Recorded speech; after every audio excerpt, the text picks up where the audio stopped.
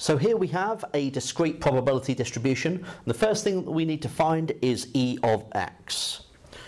So that's going to be equal to 0 times 0.5 plus 2 times 0.1 plus 4 times 0.05 plus 6 times 0.35. So 2 times 0.1 plus 4 lots of 0.05 plus 6 times 0.35. And so we get 2.5. Okay. So next up, e of 7x take away 9. So we know that from before we can write that as 7 times e of x take away 9. So that is 7 lots of 2.5 take away 9.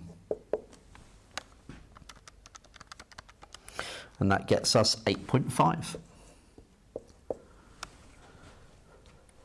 Now for C, E of 3 take away 2 thirds x. So that is going to be 3 take away 2 thirds of E of x. So 3 take away 2 thirds of 2.5.